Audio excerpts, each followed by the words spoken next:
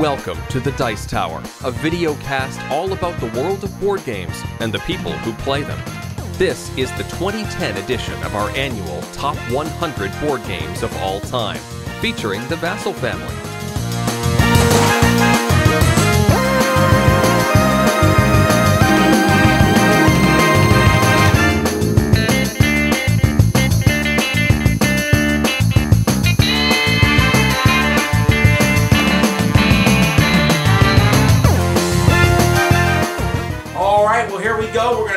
Top 100 countdown.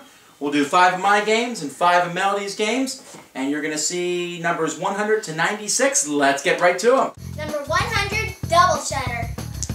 Double shutter comes in a really nice case, and you're rolling dice to knock down numbers. And it's basically luck, although like there's some skill to knocking down numbers. Melody, why do you like this game so much? I like this game because you're trying to get as many numbers as down as possible before it's the other person's turn. Do you think it's good quality? Yes, it's a very cool looking box, and the game is mostly the box. Right. In fact, you can put the, the, the lid on the box and store it that way. It's a very simple game. How long does it take to play, you think? Like two minutes. Yeah, there's not many games you can say that about. Shut the super box. Number 100, Magic the Gathering. Yeah, I won't forgetting Gathering. In my intro, I said that Magic the Gathering didn't make my top 100. I had miscalculated. It actually comes in at number 100. But that's still pretty impressive for a game that came out a while ago. Woohoo! Magic the Gathering. Now, I am afeared of collectible card games, and Magic the Gathering is certainly one of those. Where you buy cards, you buy packs of overpriced cards, very overpriced, just to get a few cards that are, are worth playing. But let me tell you this, as a board gamer, I like to buy collectible card games occasionally to buy complete decks and play with them. This is a treasure trove time to play Magic Gathering. You don't need to be competitive, you don't need to have the latest cards. There is tens of thousands of different cards out there that you can play with. I you can I went out and bought this whole box with just tons of different cards, and then so we're having piles of time with this. We don't ever need to buy more cards. I might buy a deck occasionally here and there, but it's a lot of fun. It has a very high collectible aspect. My daughter really likes it. You'll see it later on in her top 100. But this is a good game worthy enough of making my top 100, even if it did just eke on the list. Number 99 is Revolution. Revolution is a board game in which you're trying to control different areas with via area control and get different points, but that's done by blind bidding behind a board. On this board, you're putting money or blackmail or force. You're trying to control these different people, but everyone else is doing the same thing at the same time, and so you use the Mega Shield to hide what you're doing. Each turn, you put down your stuff, you find out who does what, and you go on. But it's the combination of blackmail being greater than money and force being greater than blackmail. Some characters are colored certain colors, cannot be blackmailed or hurt by force, and there's just different things. This is in my top 200 actually. It's a very good game.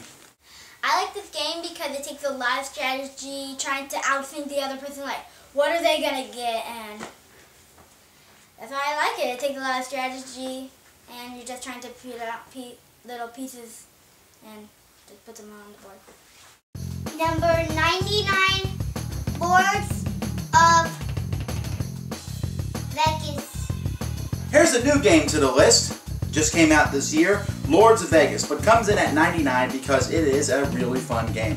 You know, I looked at it and thought, wow, that looks neat. There's dice all in it. And it's a game about building a casino in Las Vegas. And there's, but, but unlike other games of this genre, or just another, another old building game, this one actually has a bit of gambling in it as you are trying to build in the right places. Sometimes expanding with the chance that someone will steal that from you. Trying to restructure casino, lots of rolling dice, but it's all controlled and it's very interactive and very fun. My only disappointment is that it's four players. I wish it was five or six, but that would probably slow the game down too much. But if you like Chinatown, one that I've always found enjoyable, this is the same thing, but with a lot of luck and bidding thrown in. Very fun and very cutthroat. Number 98,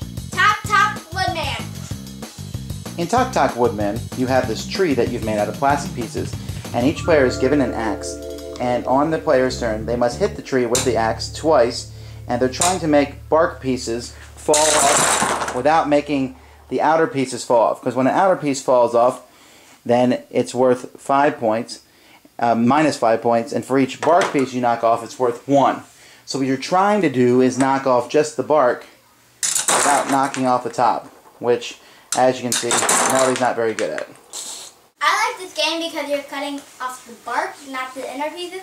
I really think it's funny to see other people get like a lot of inner pieces fall off, but I do not like that happening to me. So I try to make it harder for others, but easier for me. I like it because it's a really nice artwork and it's fun to play. Number 98 is Dixit. Dixit's another new game for the first year here. This game just won the Spiel des Jahres, which is the game of the year in Germany, and some people argued against that, but I think those people are crazy because this game is fantastic. It's a party game using cards with weird artwork. And that weird artwork, and you're not sure what it means, used, put them down. One player gives a clue about the card they put down. Everyone else puts down the card trying to match that clue. We turn them over after mixing them up, trying to guess who the, the original, what the clue giver's card, original card was. What is it? And when you play with people who are really good and try to use words measured as possible, uh, steeped in pop culture and whatever you can to get out of these cards, it's a very interesting psychological experiment. A ton of fun, uh, a very good party game. Uh, while it's light, but thinking at the same time. And that combination, I think, makes it a worthy addition to my top 100 list. Number 97, Flusi. In Flusi, you're trying to win socks. These are count as points, basically. On your turn, you roll a die, and that tells you how many of the little Flusi monsters you're going to put on this catapult here. So Melody rolled a six, so she'll put six on it. And then, after we put all six on it, she's going to see how many she can get into the box using the catapult. Ready? And go.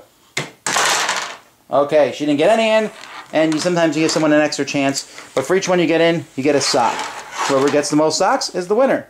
I like this game because I really like the part where you're catapulting the little Flusi character. Then I just like how they go cannonball into the sock drawer and dress up as into socks, and it's just really cute of how they catapult. Number 97, Le, look, Le,